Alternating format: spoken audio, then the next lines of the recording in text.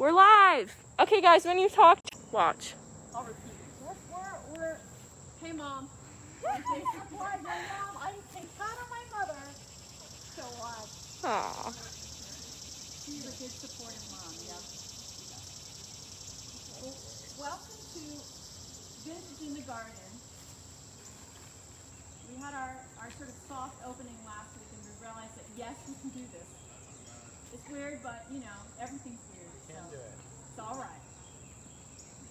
Yeah, so is going to bring you the reading, and um, next week I'll mention that my friend Greg Delbert is going to be with us. He is an amazing physician, family physician in town, and also an osteopath. So he's going to talk about health and wellness and strategies for um, kind of going through your day, because we understand that you know y'all are all um, experiencing all kinds of new uh, circumstances that can be challenging.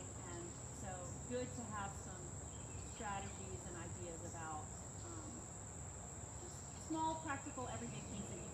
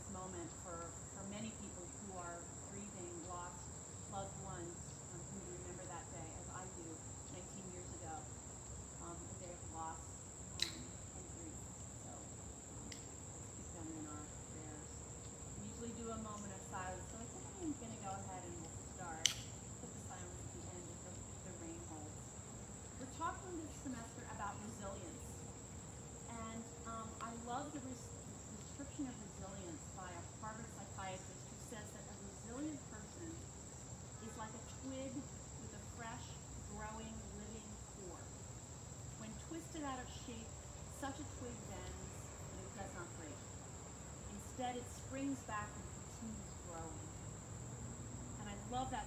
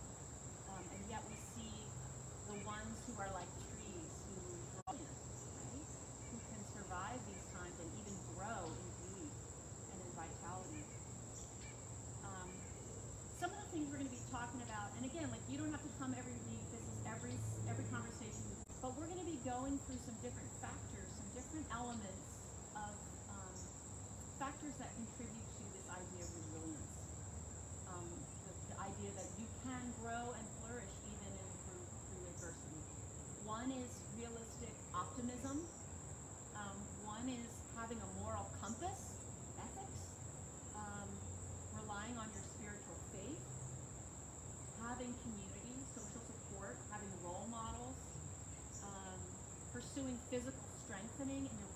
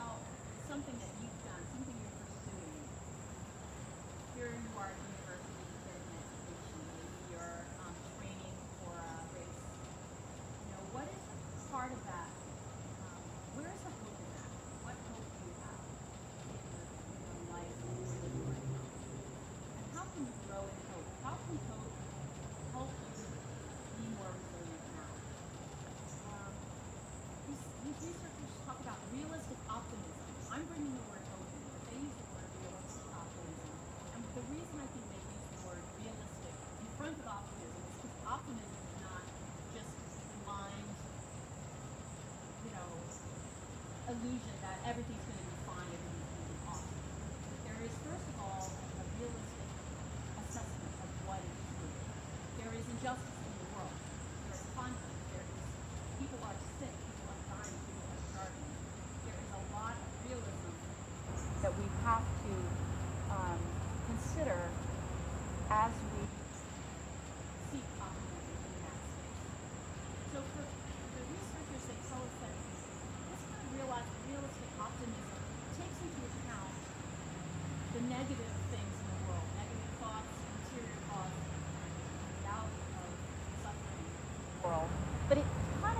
broader. Optimism takes you, considers the negative and your fears and your worries and all the stuff that you carry, but it broadens your perspective to consider the possibilities, to consider the positive, open your eyes to um, the gifts around you.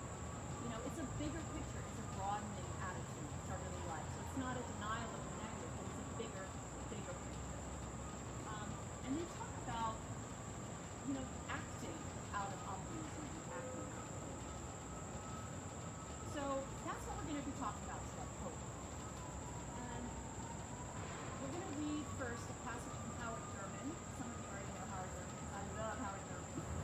Um, but for those of you who don't, um, just as a reminder, I'll tell you just a little bit about his biography. Because his life was one of challenge and adversity, very, very much. He was born in 1899 in Florida. His grandmother, Nancy, had been enslaved for much of her life, and he knew her very well.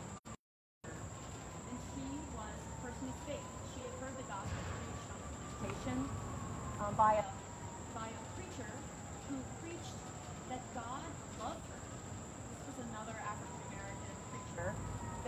was one of God's children. She was not born to be a slave. So she would ask Howard Thurman to read the scripture to her. She never let him read from St. Paul because St. Paul's the one.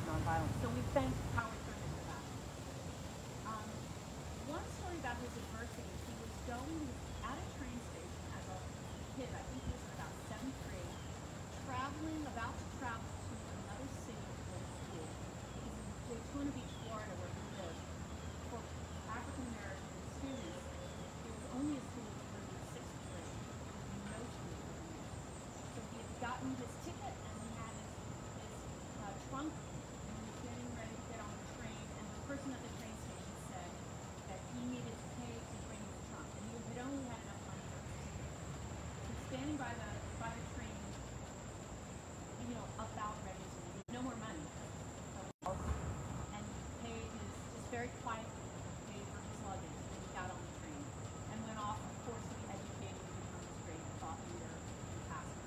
And later when he wrote his autobiography, he made that luggage. And I think it's such a beautiful story because as a reminder to us that changed lives.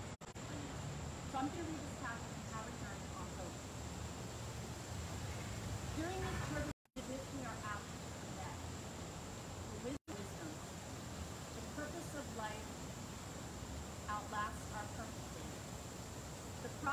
life cushions our process.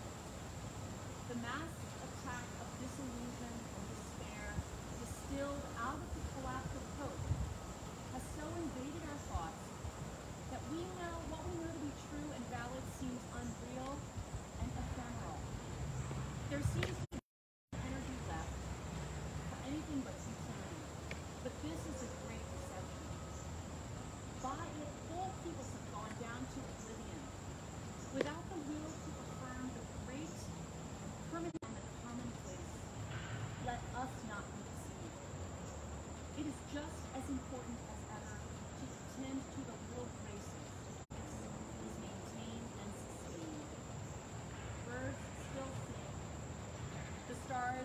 continue to cast their gentle gleam over the desolation of the battlefields, and the heart is still inspired by the kind word and the gracious deed.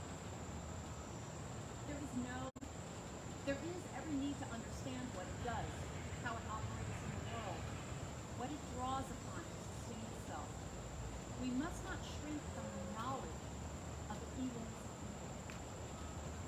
Over and over, we must know that the real target of evil is not destruction of the body, reduction to rubble of cities. The real target of evil is to corrupt the spirit of man and to give his soul the contagion of inner.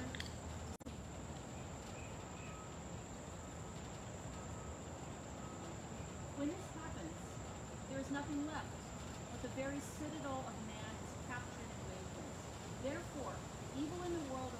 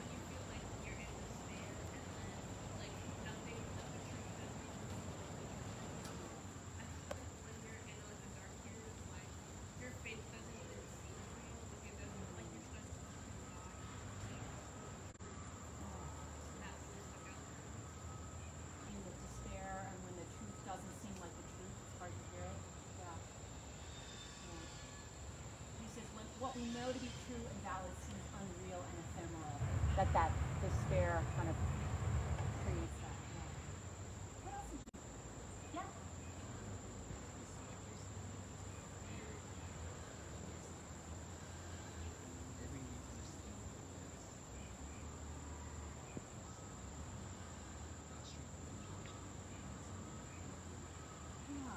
There's no need to fear evil, but you need to know what it is.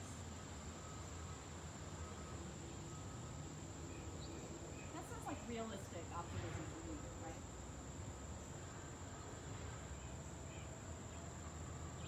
What did you think of that? I mean, little braces.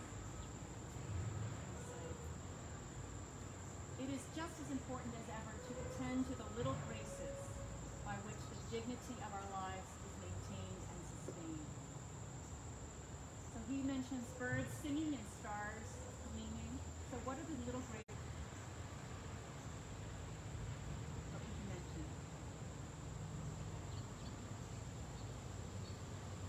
Rain.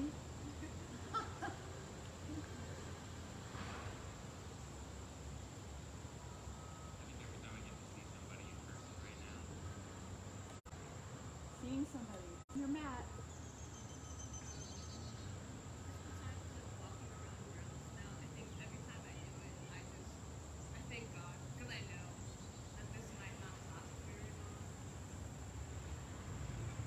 walking on our own grounds. Right, the process of that is so new, isn't it?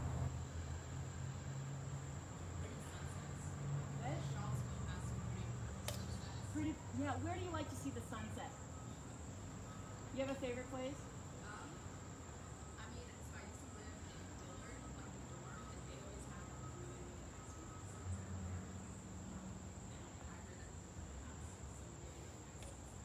Saltburn, yeah.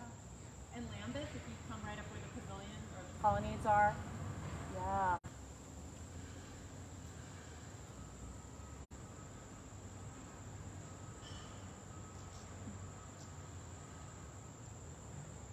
Let's keep keep awake to those little. He says to drink in the beauty that is within reach.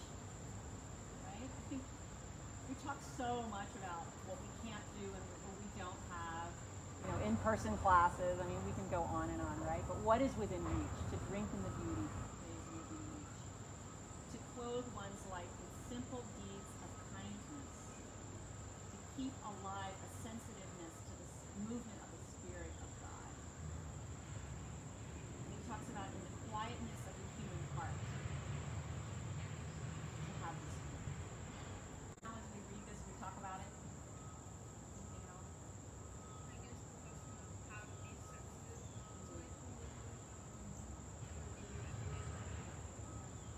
How do you be sensitive to the movement of God? Anything that's helped you? Just practical things or more theoretical ideas? What helps you?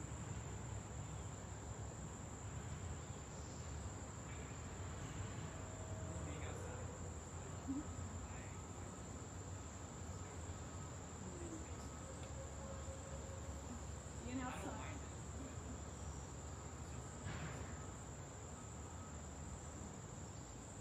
Being outside.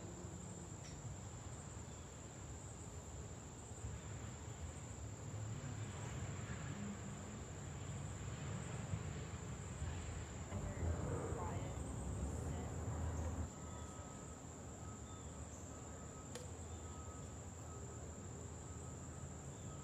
Silence, being quiet, choosing that.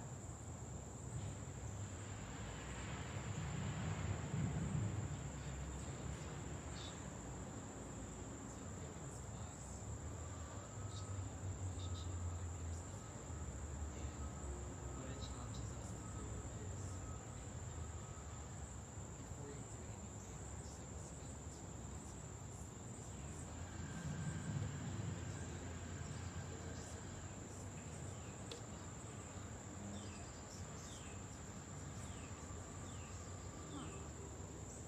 Love that. Saying before you do anything, spend two, after you're finished, spend two minutes in silence. You know, there's a the monks have a word for that, estatio. It's a it's like a spiritual discipline. Does he use, does he use that word? Yeah. So I mean, it's nothing like the monastics don't. I mean, they just they're onto a lot of good ideas. Right? right? But Joan Chittister writes about this, where they're everybody's working in the field. They're like whatever nuns do, right? They're built making cheese or whatever. And the bell rings at the chapel, and you know everybody's late. Running to the chapel. But they always have to stop outside the door and wait, like for these minutes. So I think that's really cool how these practices kind of, you know, we see them going through all kinds of, of wisdom and teaching. It's awesome. Hi, Ginger.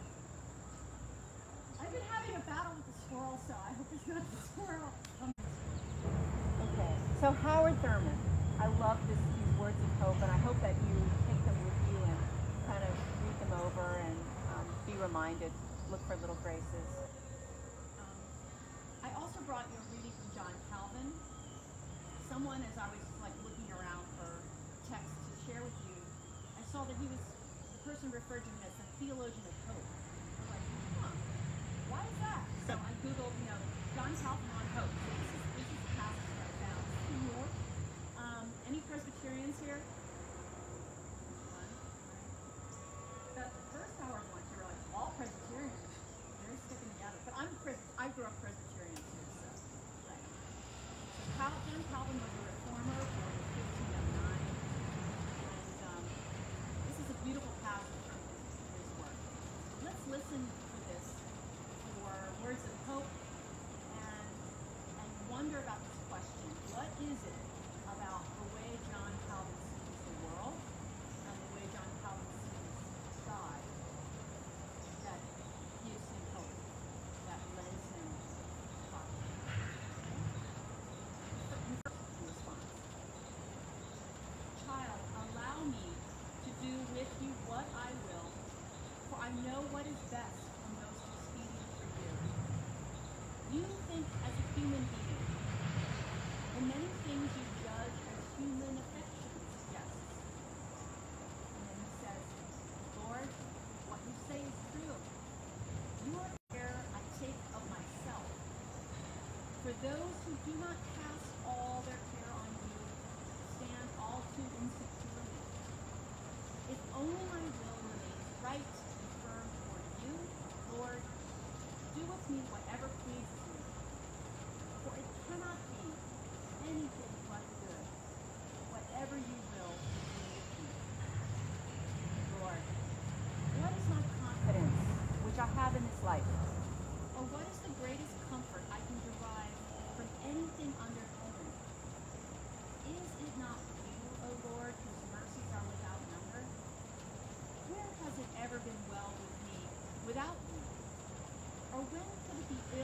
key where you are present.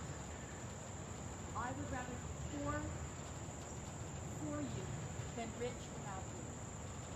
I would rather choose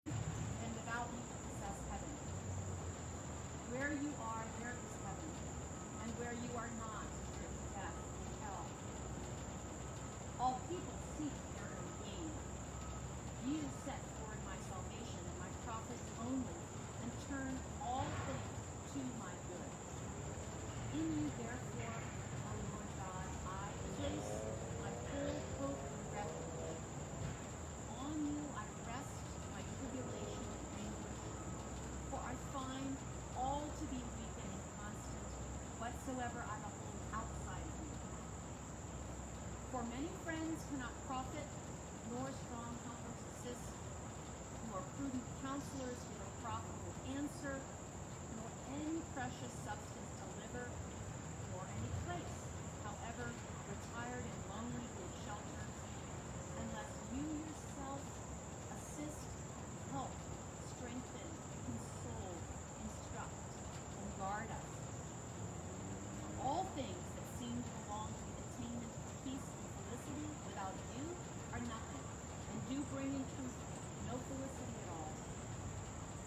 there.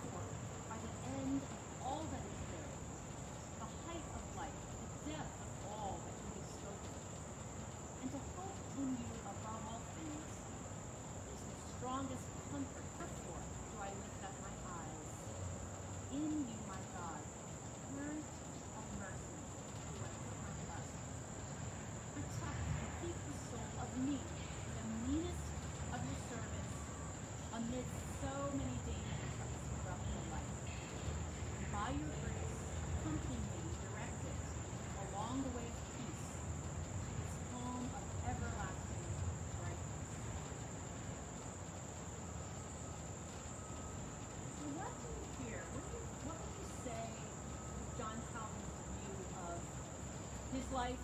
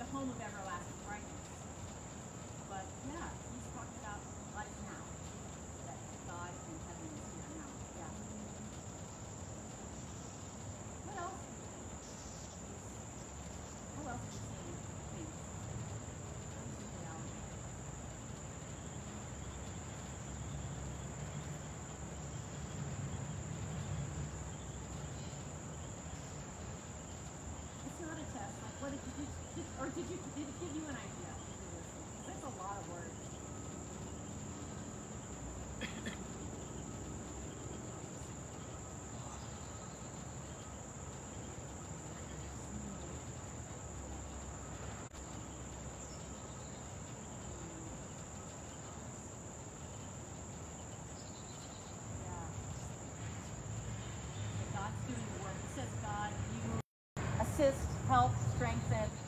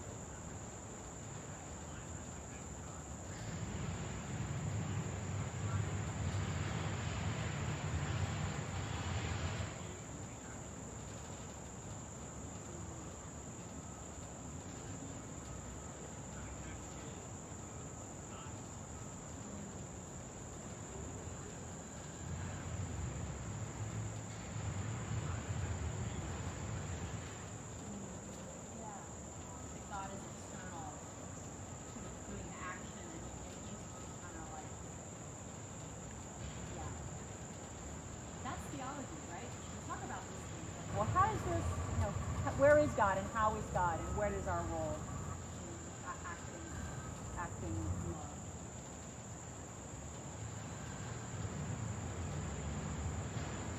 This noise, like so gay, guys. It's so hard to be spiritual when they're digging in your tree, right? No, it's all good.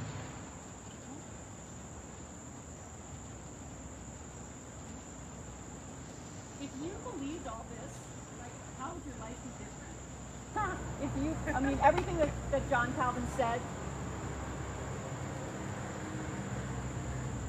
Yeah, Sam? wonders if this is like, like sometimes I sit and I write things that are like, this is me telling this to myself. Yeah. Um, and I love that we get to do this, but like, I, I knowing a little bit about John Calvin's life, I really think that like, he was this guy. He was not a chill guy No. at all. Um,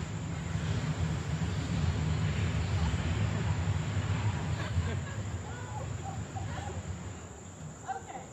Yeah, so Sam's saying that this is kind of aspirational. And I use exactly that same word when I was doing this. It's like, let's just take these words and kind of read them and pray them.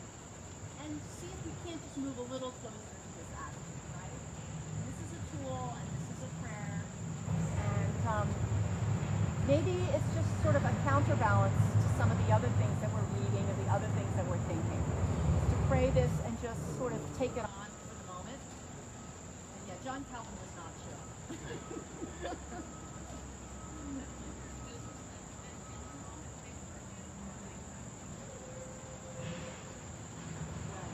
How did he really embody this in his life? Yeah, it's a great question. And I think that's why I love the stories of these people because it sort of helps you when you read their words. Um, yeah, I mean, I can just envision him sitting there ready. Kind of thing. Right. He's talking to himself here. So talking to himself, right, John Calvin? This is what's true. Yeah, yeah, it's awesome. Well, um, did this bring up anything else? Is there anything you're thinking, or anything that's bothering you, or anything random you want to talk about right now? all this. Arminianism. All right. Can anybody fill us in? Can you? Calvinism and Armenia, Arminianism.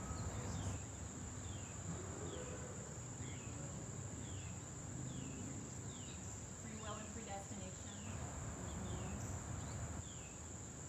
So, right, this this idea of is God doing everything, or where is human effort and um, action on the human side?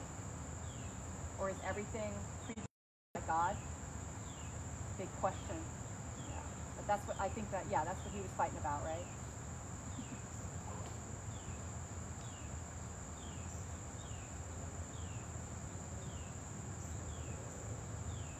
The last reading I have for you today is um, from Teresa of Avila, wonderful Spanish uh, nun, reformer, very strong woman. I'm, I'm hoping to read lots of her this semester because I really want to learn more about her. She was born in 16. And, um, you know, I feel like this, what my hope is that every week in this reading will be able to share a blessing and a prayer um, for you to take with you, for you to read over as you go through your week, and you know, as a as a way of being aware of God's presence, you know, as a as a practice, as a tool, so that um, more and more we can live into this. In this case, the spirit of hope, um, where there is the realistic, you know, anxiety, fear, uncertainty, and you know, how long will we be here at at UVA? And all these questions. And. And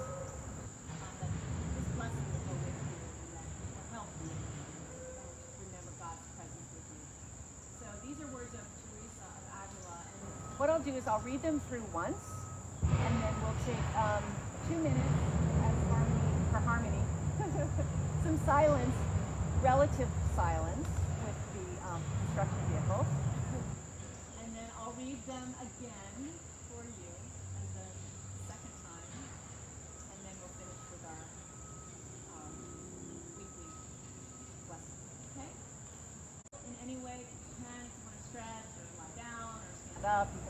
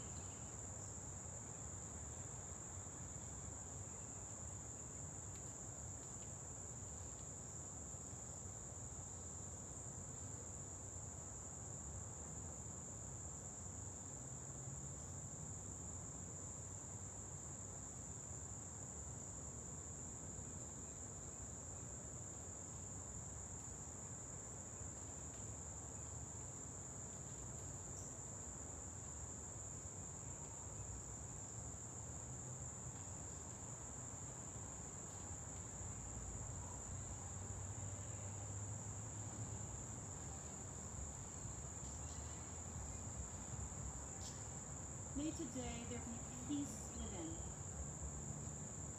May you trust God that you are exactly where you are meant to be. May you not forget the infinite possibilities that are born of faith. May you use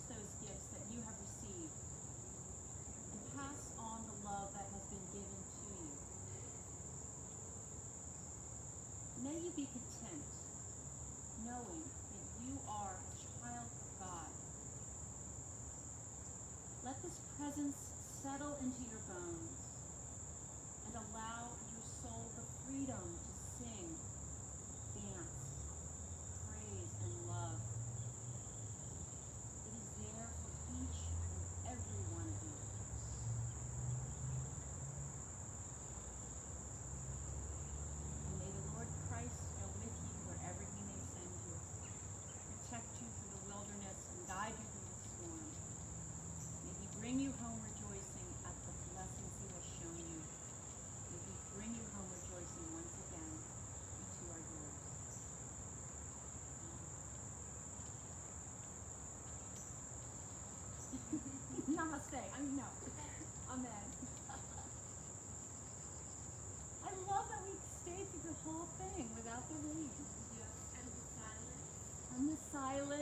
there's a little, look at the blue sky.